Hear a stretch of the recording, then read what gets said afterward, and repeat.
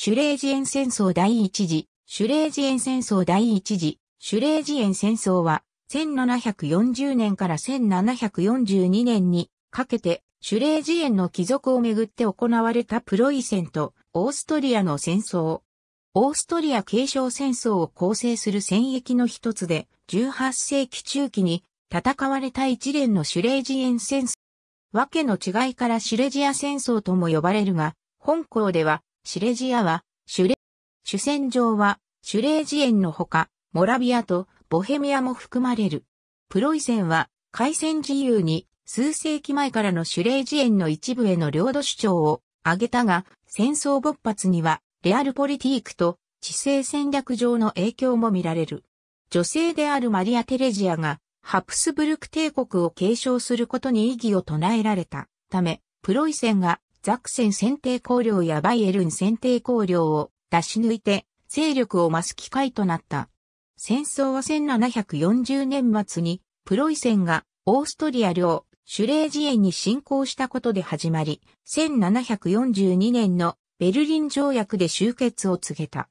ベルリン条約により、プロイセンはシュレージエンの大半とボヘミアの一部を奪取したが、一方で、オーストリア継承戦争は終結せず、わずか2年後には、プロイセンオーストリア間の紛争が再発し、第二次シュレージエン戦争が勃発した。大国オーストリアと比べて小国であるプロイセンがオーストリアに打ち勝ったことにより、広潮各地区が始まり、以降1世紀以上のドイツ史に大きな影響を与えることとなった。ブランデンブルク辺境伯領に隣接するハプスブルク帝国領、シュレージエンは18世紀初頭には人口の多く、経済も繁栄した地域になっていたが、ブランデンブルク辺境伯領とプロイセン王国を統治するホーエンツォレルン家は、シュレージエン領内にある諸公国への領有権を主張していた。シュレージエンには、税収、工業生産、兵士といった資源の価値のほか、地政戦略的にも重要性を有した。すなわち、オーデル川上流の渓谷は、ブランデンブルク、ボヘミア、モラビア間の進軍を容易にしているため、それらの地域を領有する国は隣国への脅威になる。また、シュレージエンが神聖ローマ帝国の北東部辺境に当たるため、シュレージエンを領有する国は、ポーランドとロシアのドイツに対する影響力を制限する力をも有することになる。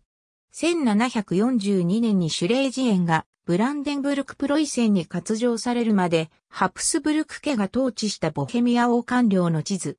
シロンスクピアスト家のレグニツァ公フリデリク2世と、ホーエンツォレルン家のブランデンブルク選定公、ヨアヒム2世ヘクトルは1537年に、継承条約を締結し、シロンスクピアスト家が断絶した場合には、ホーエンツォレルン家がレグニツァ公国、ブジェク公国、防府を継承することを定めた。しかし、シロンスク諸公国の宗主であるボヘミア王は、ハプスブルク家のフェルディナンド一世であり、彼は条約を拒絶し、ホーエンツォレルン家に圧力をかけて、条約を拒否させた。1603年、ブランデンブルク選定公、ヨアヒム・フリードリヒは、親族のブランデンブルク・アンスバッハ編脅迫、ゲオルク・フリードリヒからクルノフ公国を継承し、次男ヨハン・ゲオルクに行為を譲った。1618年にボヘミア反乱が勃発したことで30年戦争が始まると、ヨハン・ゲオルクは他のシロンスク諸公国と共に反乱に加担し、カトリックの神聖ローマ皇帝フェルディナント2世に反旗を翻した。反乱は1621年にカトリック側が白山の戦いで勝利したことで鎮圧され、フェルディナント2世はヨハン・ゲオルクの両国を没収し、ヨハン・ゲオルクの死後もその後継者への返還を拒否したが、歴代ブランデンブルク選定公は自身こそがクルノフ公国の正当な統治者であると主張し続けた。1675年にシロンセクピャスト家最後の君主であるレグニツァコーイエジ・ビルヘルムが死去すると、ブランデンブルクの大選定公フリードリヒ・ビルヘルムはレグニツァ、ブジェク、暴風の継承を主張したが、時の皇帝レオポルト一世は、フリードリヒ・ビルヘルムの主張を無視し、イエジ・ビルヘルムの領地を帝国領に併合した。1685年、オーストリアが大トルコ戦争で戦っている中、レオポルト一世は、フリードリヒ・ビルヘルムにシュレージェンへの領土主張を取り下げさせ、大トルコ戦争でオーストリアに軍事援助を与える代償として、シュレージエンの飛び地であるシュビーブスをブランデンブルクに割譲した。しかし、フリードリヒ・ビルヘルムの息子フリードリヒ三世が父の後を継いで選定校になると、レオポルト一世はフリードリヒ・ビルヘルム一代限りでシュビーブスを割譲したとして、シュビーブスの支配権を取り戻した。フリードリヒ三世は、負債の一部をレオポルト一世に肩代わりさせることで、この再占領を秘密裏に承認したが、後に合意を保護にし、クルノフ公国と元シロンスクピャスト家領への請求を再開した。マリア・テレジア、マルティン・ファン・マイテンス作、1744年頃、シェーンブルン宮殿所蔵。時代を下って1740年5月、即位したばかりのプロイセン王フリードリヒ2世は再び、シュレージ園の領有を目指した。彼は、シュレージ園への請求が正当であると考え、また父、フリードリヒビルヘルム一世からよく訓練された大軍であるプロイセン陸軍を継承し、国庫の状態も健全だった。一方、オーストリアは財政状況が悪く、軍も直近のオーストリア・ロシア・トルコ戦争で不名誉な敗北を喫したにもかかわらず増強も改革もなされなかった。ヨーロッパの情勢もプロイセンの先制攻撃に有利だった。グレートブリテン王国とフランス王国はお互いに注目していて、ヨーロッパ全体を見ておらず、ロシア帝国とスウェーデン王国はハット島戦争で戦っており、バイエルン選定公領とザクセン選定公領は、オーストリアへの継承権を主張できる立場にあるため、攻撃に参加する可能性があった。ホーエンツォレルン家による請求権は法律上の改戦自由になったが、実際にはレアルポリティークと地政戦略上の理由が戦争勃発の主因である。フリードリヒ2世にとって機会となったのは1740年10月に神聖ローマ皇帝カール6世が男子継承者を残さずに死去した時だった。1713年の国事証書により、カール6世は長女マリア・テレジアを継承者に定め、マリア・テレジアはカール6世に伴い、オーストリアの統治者になり、ハプスブルク帝国の内ボヘミアとハンガリーの領地も継承した。国事証書はカール6世の存命中にはほとんどの帝国諸侯からの承認を受けたが、多くの諸侯はカール6世の死後すぐに承認を拒否した。フリードリヒ2世はこれを後期とみて、ボルテールにヨーロッパの古い政治体制を一新する時が来ました、と書き送った。フリードリヒ2世は、シュレージエンが世襲領地ではなく、帝国の王冠領の一部として、ハプスブルク家が所有するに過ぎないので、国事証書はシュレージエンには適用されないとした。さらに、父、フリードリヒビルヘルム一世が国事証書の承認に同意したとき、その見返りとして、ラインラントの有利非公国とベルク公国への請求の指示を取り付けたが、オーストリアがその義務を果たさなかったとした。一方、バイエルン選定校、カール・アルブレヒトとザクセン選定校、フリードリヒ・アウグスト2世はそれぞれカール6世の兄ヨーゼフ1世の娘と結婚しており、この結婚をハプスブルク家領への請求の根拠とした。中でもフリードリヒ・アウグスト2世はアウグスト3世としてポーランド・リトアニア共和国の国王にも就任しており、シュレージ園を領有することで事領であるザクセンとポーランドが一続きになる。この最悪の結果を防ぐためにもプロイセンは急いで行動を起こさなければならなかった。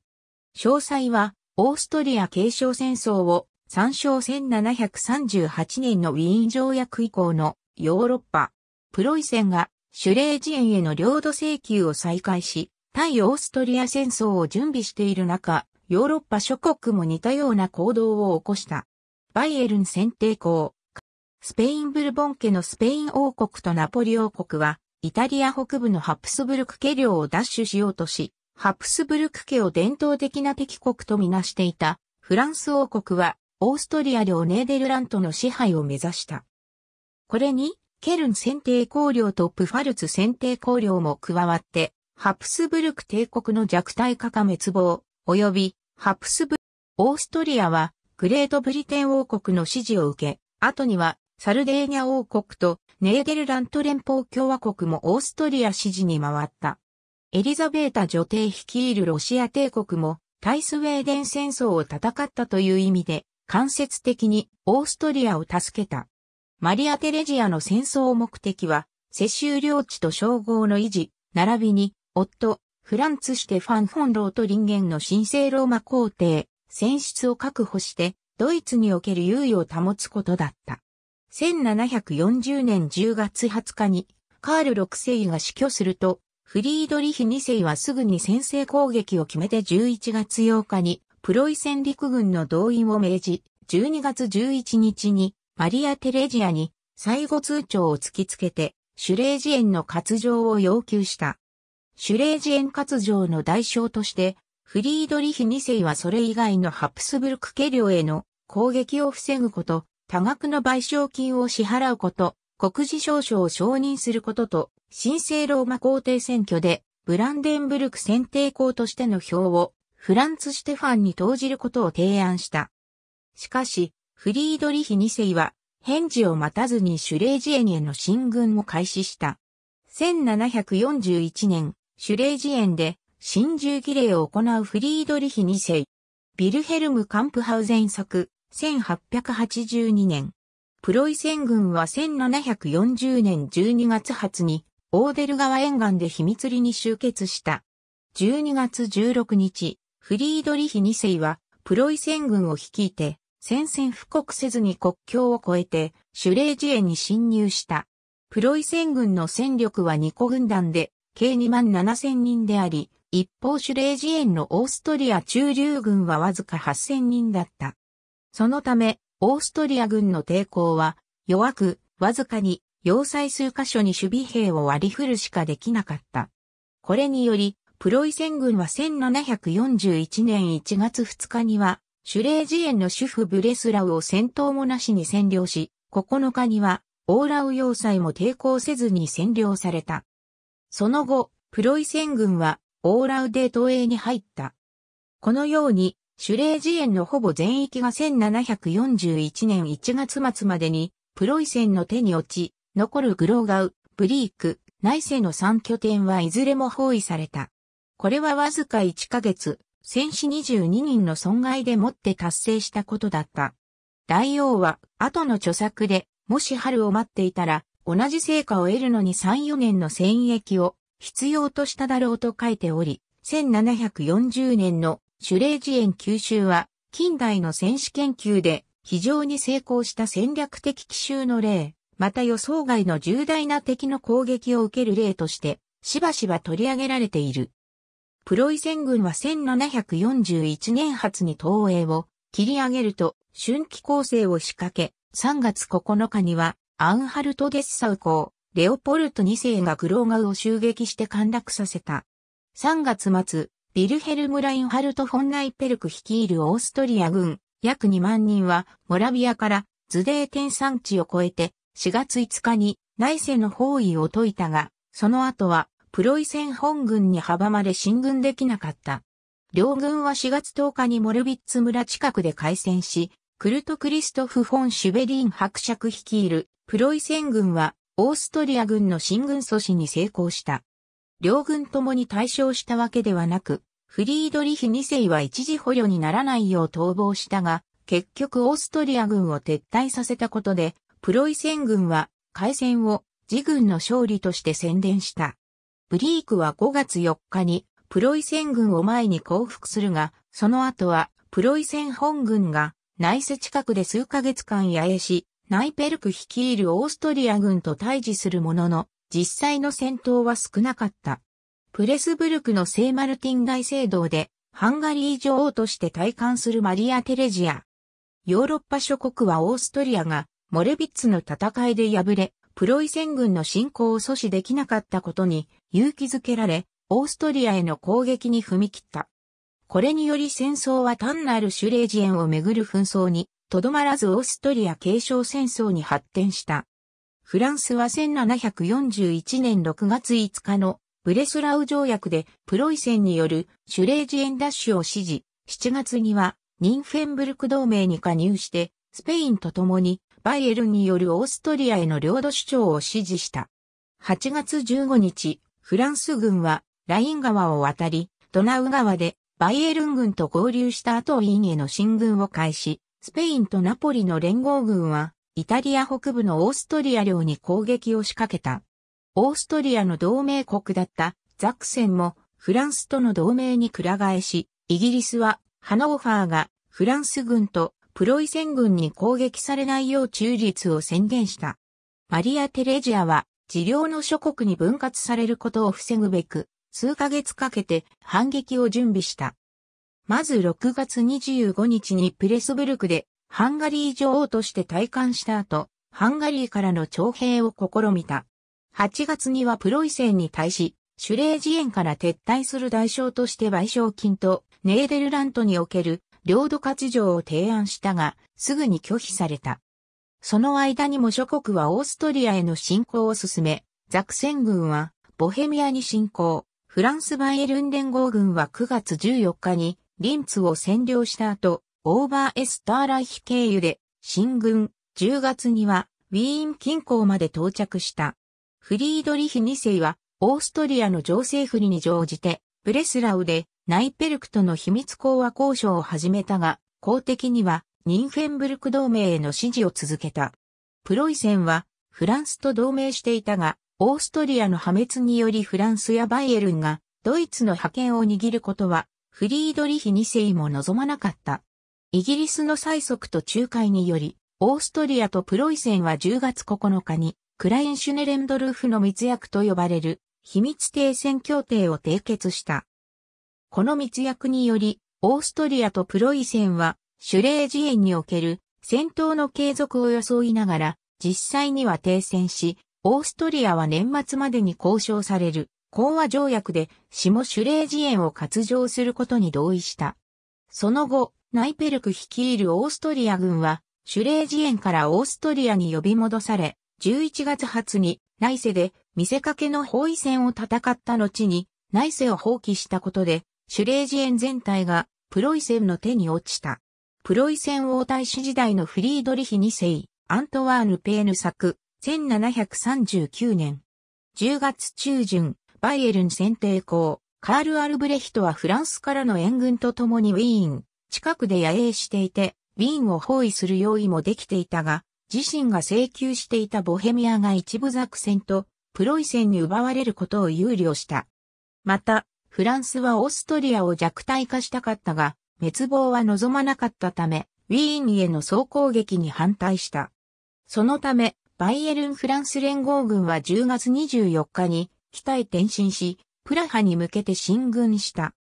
これにより、バイエルン、フランス、ザクセン軍は11月にプラハ周辺に集結し、包囲の末11月26日にプラハ城を陥落させた。12月7日にはカール・アルブレヒトがボヘミア王として退官した。一方、フリードリヒ2世は11月初にプロイセン領、シュレージエンとザクセン領モラビアの国境線について交渉し、同時にフランスとバイエルンからプロイセンによるシュレージエン全体とボヘミアのグラーツ白領のダッシュへの指示を引き出した。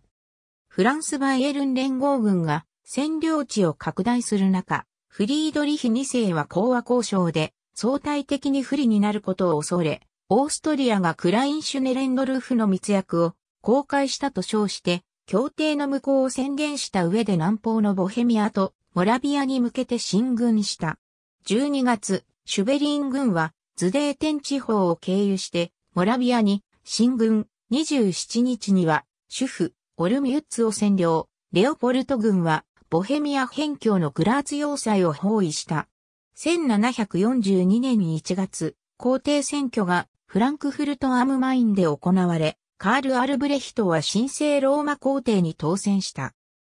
1742年2月5日に、ビシャウでザクセンフランス連合軍と合流したフリードリヒ2世は、モラビアを経由して、ウィーンへの進軍を始めた。しかし、フランス軍は、非協力的な態度をとり、2月15日にイグラウを占領した後ボヘミアへ撤退してしまった。プロイセン軍とザクセン軍は、モラビアにおけるオーストリア軍の拠点であるブリュンに進軍したが、補給が不足し、オーストリアがブリュンに相当な実力を有する中流軍を残したため、包囲は進まなかった。ザクセン軍は3月30日に包囲を放棄して、ボヘミアに撤退、以降7月に戦争から脱落するまでボヘミアに居座った。結局、連合軍がモラビア戦役で大した成果を上げられないまま、4月5日には、プロイセン軍もボヘミアと上シュレージエニへ撤退した。連合軍のモラビアへの進軍が失敗すると、カール・アレクサンダー・フォンドートリンゲンは、オーストリア・ハンガリー兵3万を率いて、モラビア経由で、ボヘミア進軍、プロイセン軍を追い払って、プラハを奪回しようとした。5月発、フリードリヒ2世とレオポルト率いるプロイセン軍2万8000は、プラハの南東にあるエルベ川のへ。5月17日、オーストリア軍がコトジッツ近くで、レオポルトの軍営に攻撃を仕掛けると戦闘が始まり、プロイセン軍は勝利したが両軍とも多くの損害を出した。24日には、ヨハン・ゲオルク・クリスティアン・フォン・ロッペコビッツ率いるオーストリア軍がザハーイの戦いでフランス軍に敗れており、これにより連合軍はプラハを完全に確保、オーストリアは連合軍をボヘミアから追い出す手段を持たない状況になった。1742年のベルリン条約以降のオーストリア領シュレージエン。コトジッツの戦いが終結した後、プロイセンはオーストリアとの単独講和交渉への努力を強め、広島二国の代表は5月末に再び、ブレスラウで交渉した。フリードリヒ2世は今度は、シュレージエンのほぼ全域とグラーツ白領を要求し、マリア・テレジアは譲歩したくなかったものの、イギリス公使の第三代ハインドフォード伯爵、ジョン・カー・マイケルは、プロイセンと講和し、対仏戦争に集中するようマリア・テレジアに圧力をかけた。イギリスはオーストリアに多額の資金援助を提供しており、ハインドフォード伯爵は、マリア・テレジアがシュレージ園の活動に同意しなければ、イギリスの援助を取り上げると脅した。結局マリア・テレジアは、俺、6月11日にプロイセンとブレスラウ条約を締結して第一次シュレージエン戦争を終結させた。ブレスラウ条約により、オーストリアはプロイセンにシュレージエンの大半とボヘミアのグラーツ白領を割譲し、これらの領土は19世紀にプロイセンのシュレージエン州として統合された。オーストリアはグラーツ白領以外のボヘミアを維持、シュレージエンについては南端にあるわずかな領土を維持した。また、プロイセンはシュレージエンの資産を担保にしたオーストリアの負債の一部を肩代わりすることに同意し、オーストリア継承戦争における中立維持にも同意した。これらの合意は1742年7月28日のベルリン条約で正式に確認された。プロイセンは第一次シュレージエン戦争で勝利を収め、約3万5千平方キロメートルの土地と約100万の人口を獲得した。これによりプロイセンは多くの資源と多大な名声を得たが、オーストリア継承戦争の最中に2度も単独講和したことは、ニンフェンブルク同盟を見捨てたに等しく、外交においては当てにならない二枚舌であるという悪名もついて回った。プロイセンが一時的に脱落したことで、オーストリアは大規模な反撃に打って出ることができ、シュレージエン以外の戦線での失地を回復し始めた、外結果外交における情勢も改善した。一方、プロイセンがシュレージエンを奪取したことで、将来的にはオーストリアとザクセンとの紛争が絶えないという状況を作り出した。マリア・テレジアがシュレージエンを奪回すると決心したことによりわずか2年後には第二次シュレージエン戦争が勃発、さらに10年後には第三次シュレージエン戦争が勃発した。第二次と第三次シュレージエン戦争ではザクセンがオーストリアに味方することとなる。オーストリアからの領土割譲により、プロイセンはシュレージエンとグラーツにおける広大な土地を獲得した。